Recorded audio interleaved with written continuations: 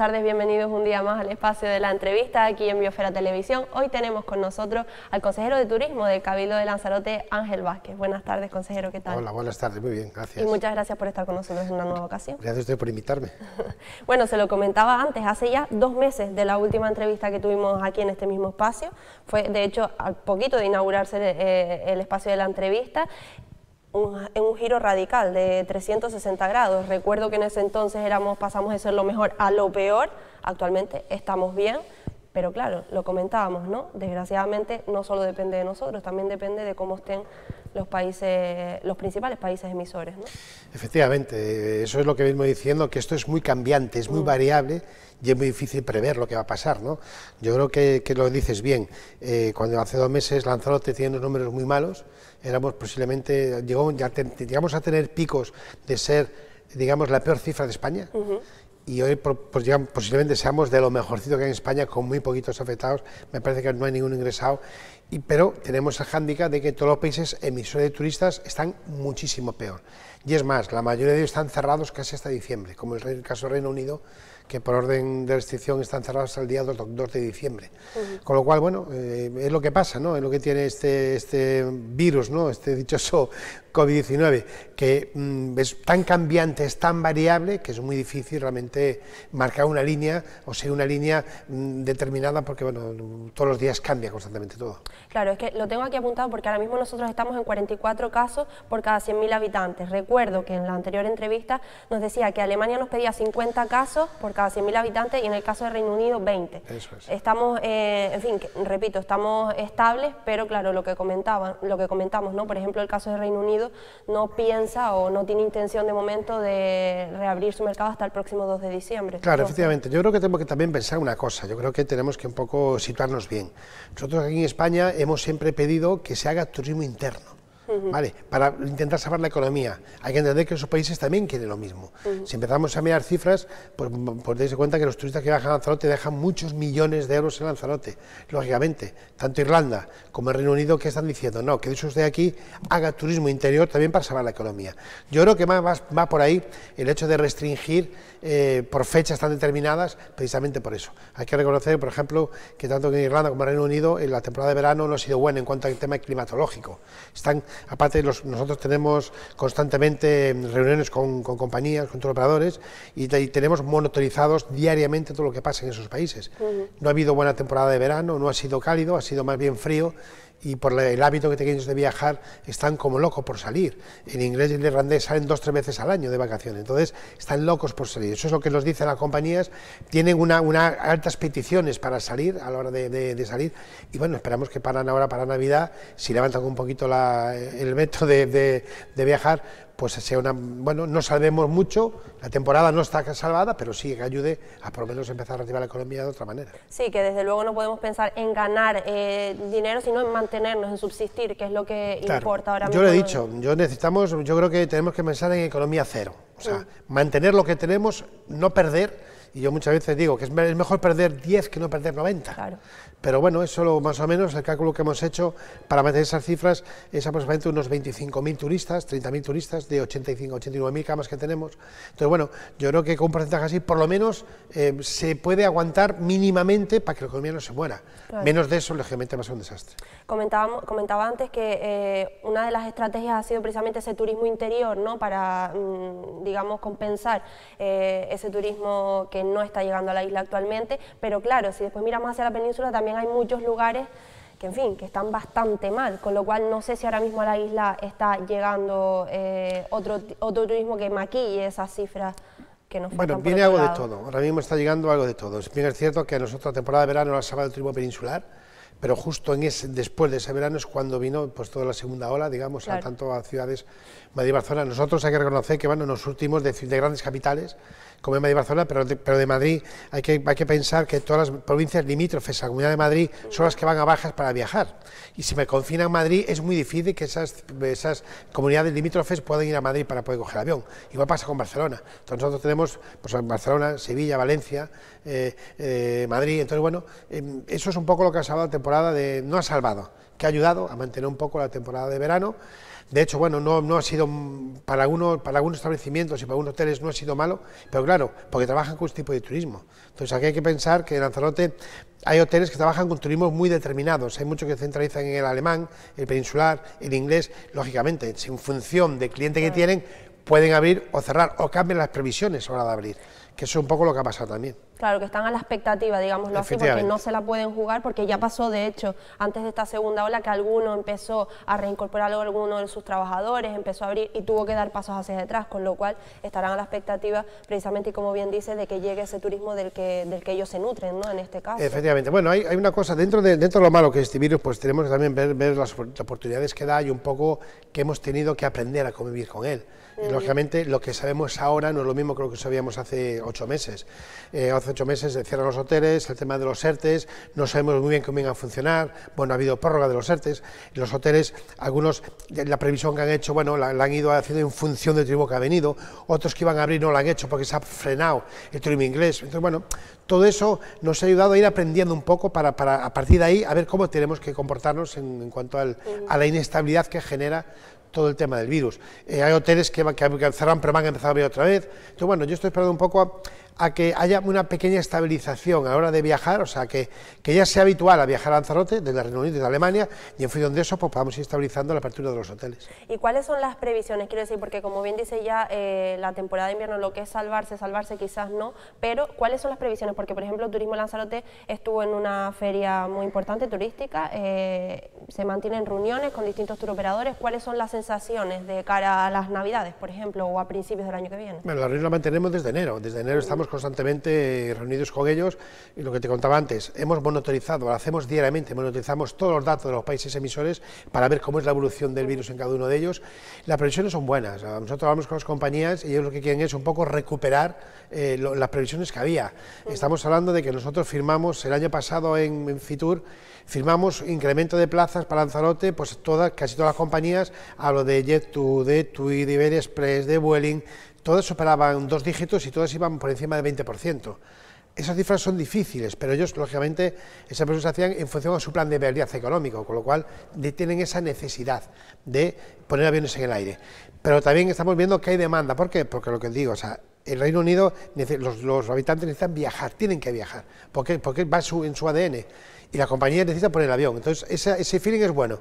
Dependemos de que esos países abran, Claro. abran las fronteras, permitan el viaje y luego, sobre todo, y eso yo vengo diciendo desde, desde, desde febrero que empezó esto, que Europa se ponga de acuerdo en cómo hay que viajar. Creo que eso es fundamental. Parece ser con Alemania, que empezó a pedir los tres aeropuertos, ya todos los países empiezan a hacer lo mismo. Qué fácil hubiera sido eso hacerlo en el mes de febrero. Hubiéramos ganado seis meses de economía. Era muy fácil pedir test, pero bueno, parece ser que la diplomacia falló. Yo creo que también por un poco el desconocimiento que había sobre sí. el virus o los efectos que podía tener, pero hubiera sido fundamental y creo que sigue siendo fundamental, y yo espero que así sea, que Europa se ponga de acuerdo en cómo hay que viajar para que todo el mundo tenga la misma información, maneje los mismos test y sobre todo generemos confianza para que el turista pueda viajar. Ahora vamos con el tema de los test porque es fundamental en, en esta situación, pero antes nombraba lo de TUI, por ejemplo, que es una importante empresa alemana, y hace poquito nos llegaba un comunicado diciendo que se entrará en Canarias o tiene intención de centrar en Canarias toda esta temporada que queda de invierno. Efectivamente, sobre todo porque es un destino porque le da más seguridad. Claro. Primero, ya no solo por las cifras. Dense cuenta que tal y como está el mismo la pandemia, yo creo que es un riesgo viajar a zonas donde no hay unas ciertas garantías, tanto sanitarias como jurídicas. Aquí en África, en, en, en Canarias tenemos una, una, un, un dato importante. Aunque estamos en el continente africano, por geografía somos Europa, eso da una garantía jurídica y sanitaria que Turquía no la da, Israel no la da, eh, el norte de África no la da, con lo cual, lógicamente, esos países se fían mucho más de un país europeo, por tanto, llevamos ventaja. El tema está que aquí se vamos a responder. Eh, en, verano tuvimos muy buenas cifras, íbamos en un crecimiento muy moderado, pero, paulatino y progresivo. Creo que se notó, lo que pasa que al final, bueno, tuvimos la desgracia de caer en, con los datos que, que, que tuvimos y, lógicamente, todo eso se nos cayó y como decíamos al principio, ahora que tenemos buenos datos, se ha caído los países emisores. Bueno, esperemos a que esto se pueda recuperar, pero mmm, tenemos que aprender que hay que convivir con el virus durante una temporada. Desde luego, sí, hay que aprender a vivir con eso y ya lo hemos dicho muchísimas veces. Eh, el tema de, como decíamos, de los test, que han habido muchas novedades también. Se han dicho muchísimas cosas a lo largo de estos meses. Actualmente eh, se empezó porque se haría los estudiantes, lo dijo el propio Cabildo Lanzarote. Después se ha dicho, si, me equivoco me corrige, que se, hará a los residentes eh, de aquí Canarios y ahora también se ha dicho por parte de AENA ha dicho que va a habilitar una zona para eh, que los turistas internacionales vengan con una PCR negativa. Bueno, yo siempre he tenido mi opinión. Yo siempre he dicho que los, los, hay que a todo el mundo que entra. Tenemos una gran ventaja por una zona geográfica que tenemos que somos isla. Al ser isla tenemos dos puertas de entrada nada más, puerto y aeropuerto.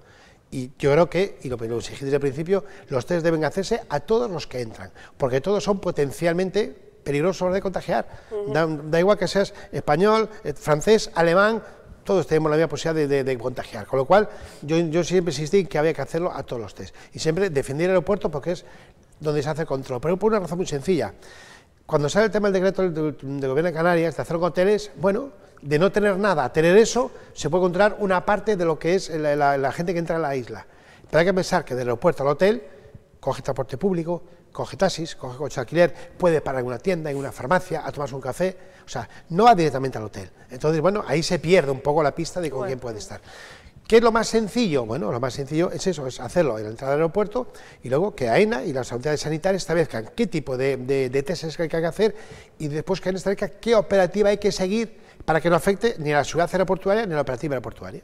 Vale, eh, lo que se ha establecido por AENA en este caso, que se piensa que se va a poner en funcionamiento el próximo lunes día 23 de noviembre, eh, es que los viajeros internacionales vengan, es decir, es como comprobar que vienen con una PCR negativa de origen.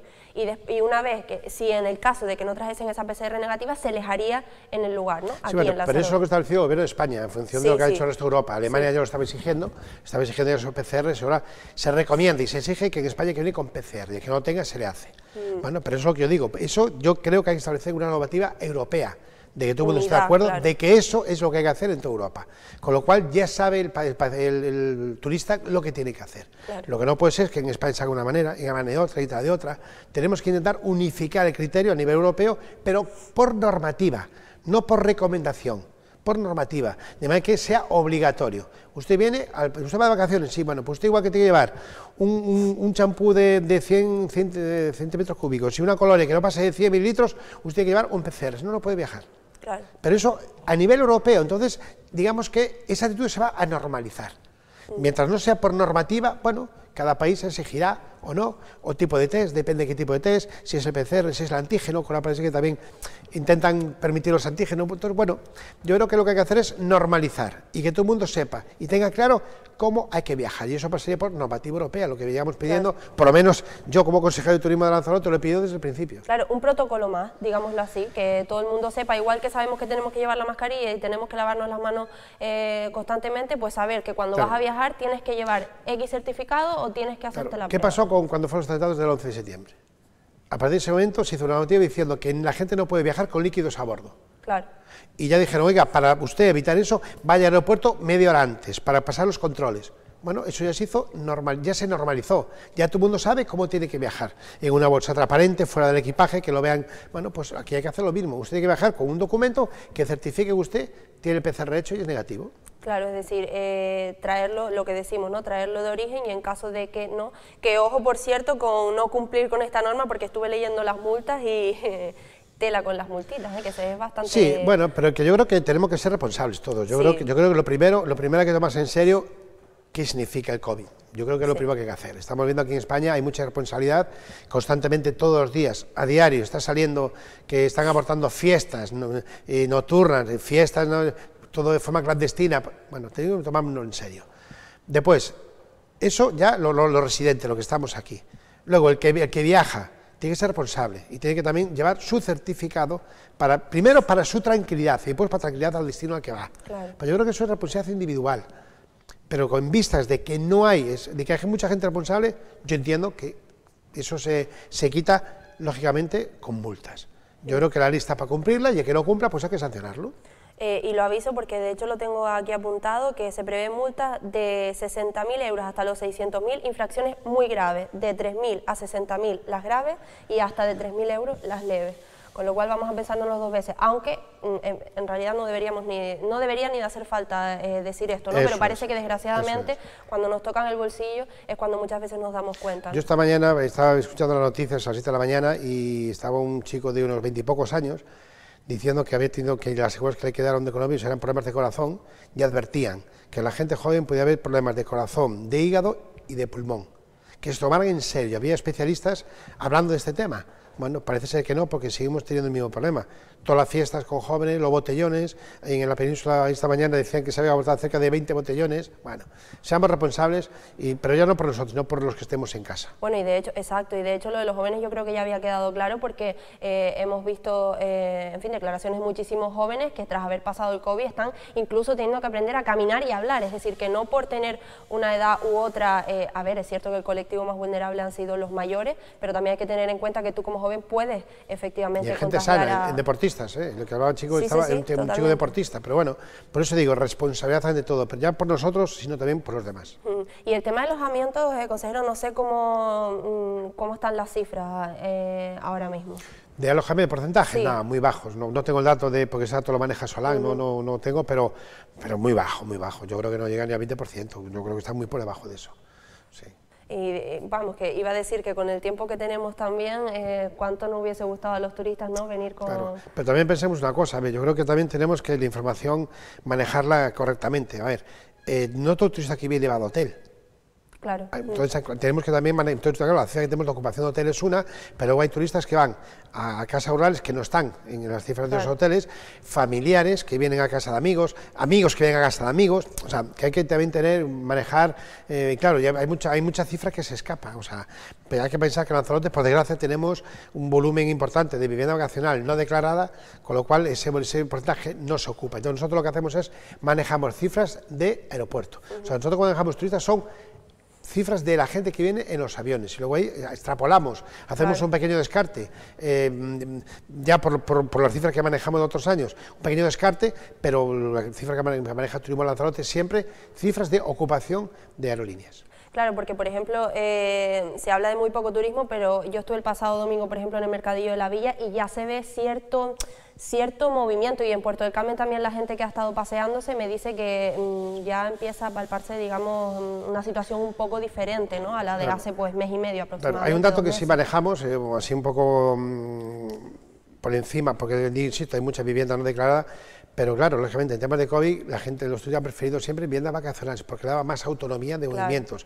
Y también una vivienda vacacional ocupa poco espacio público, compartido con otros. Entonces, ese fue un poco el, digamos, el modelo más elegido, ¿no? Pero bueno, son 100, porque eso también nos metemos en internet, vemos un poco cómo se manejan esos mercados y un poco, bueno, extrapolando datos, llegamos a esa conclusión. Pero es cierto que hay que tener cuidado con eso, o sea, hay, un, turismo que se escapa por esa vivienda no declarada y no todo el que viene va a hotel. Entonces, claro, el manejo de la ocupación de plaza hotelera eh, declarada una cosa y la no declarada es otra, que también son turistas al final. Claro. por desgracia no podemos controlarlo, pero bueno, intentaremos algún día poder tener todo eso en orden. Bueno, nos quedamos con ese mensaje de mm, cierto optimismo, como siempre continuamos haciendo un llamamiento a la responsabilidad que van todos nosotros y a ver cómo, cómo vamos de aquí a finales de año y principio del que viene. Des cuenta que Lanzarote ha sido el destino preferido por, Europa durante mucho tiempo, somos el destino mm, preferido mundial para los irlandeses, eh, tenemos unas condiciones distintas al resto de islas, eh, somos más pequeños pero tenemos una oferta turística mucho más atractiva, muy bien definida, centros turísticos, el que tener son el sabor de Lanzarote, el maíz, o sea, lo que tenemos nosotros, otras islas no tienen. Entonces, y luego a ser más pequeño, es, digamos, más controlable los datos que hay al tema del virus, con lo cual eso también genera confianza en, el turista. Por lo tanto, en ese aspecto, están deseando viajar a Lanzarote y solo falta, bueno, que esos países levanten un poco el pie, permitan hacer esos viajes y luego aquí recibirlo con brazos abiertos, porque aparte nos viene muy bien a la economía y aparte, como es de lo que vivimos, yo creo que es necesario. Por cierto, ahora que nombró lo del Saborea Lanzarote, ¿se sabe algo o se va a hacer algo? No, el Saborea lógicamente están prohibidos los actos masivos, con lo cual este año Saborea no se va a hacer, haremos un pequeño recordatorio para mantenerla tal, pero bueno, el otro día cuando estuvo aquí la ministra, ella es embajadora de Saborea, me recordaba, aparte me lo decía, que le había gustado mucho la chaqueta que le habíamos regalado en el décimo aniversario de Saborea y luego me dijo que, en el próximo festival que hiciéramos, que yo la había invitado, que era anterior, que no puedo venir, que vendría encantada, porque aparte le habían dicho que Lanzarote hacíamos un festival de lo mejorcito de España en cuanto a cómo se generaba ese festival y desde luego yo creo que se hecho en boca de la, de la, de la ministra hay que agradecerlo también. Bueno, son restricciones, pero son restricciones que tocan y ya el año que viene volveremos, ¿no? Sí, esto pasará, con lo cual pasará, volveremos a tener seguramente lo que teníamos antes, pero bueno, eh, digamos que esto nos dé para aprender y sobre todo, y lo que digo siempre, seamos responsables para que pase cuanto antes. Como un cartel que vi yo, una lectura que viene de un cartel, decía un padre a un niño, papá, me han dicho que si no salimos a la calle, el virus se va y ponía por debajo. Si un niño lo entiende, porque está difícil que un mayor también lo entienda. Desde luego bueno, es que lo hemos dicho desde el comienzo cuando tenían miedo a los colegios, es que los niños muchas veces están más concienciados son los más responsables. ¿no? Desde luego, son los más responsables y nos han dado un gran ejemplo durante toda esta, etapa. Y recordar eso, que las restricciones son las restricciones y que probablemente si en Lanzarote estamos ahora mismo como estamos, ha sido también por ser restrictivos cuando tú Efectivamente. hacerlo, ¿no? Pues yo creo que sí, al final, bueno, yo creo que, que los que ahora tenemos que tomar decisiones que son duras, porque es un momento muy complicado, es un momento donde la gente lo está pasando mal, las tenemos que tomar y siempre se hacen con, con intentar beneficiar a la mayor gente posible. Alguien siempre sale perjudicado, pero de luego yo creo que han sido acertadas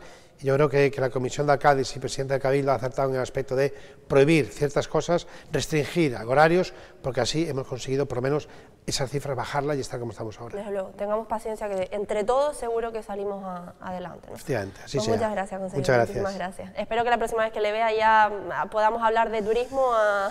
Esperemos, ¿eh? eso es lo que deseamos, trabajamos para eso, a ver si al final lo podemos conseguir. Pero insisto, no depende solo de nosotros, depende también de lo que hagan otros. Y bueno, nosotros hemos puesto todo nuestro esfuerzo, todo nuestro trabajo, eh, noches sin dormir, bueno, ha sido, no ha sido fácil, no ha sido fácil, ni está, ni está siendo fácil. Pero bueno, estamos aquí para hacer eso, que es nuestra obligación y seguiremos así. Pues muchísimas gracias. Muchas gracias. Muchas gracias.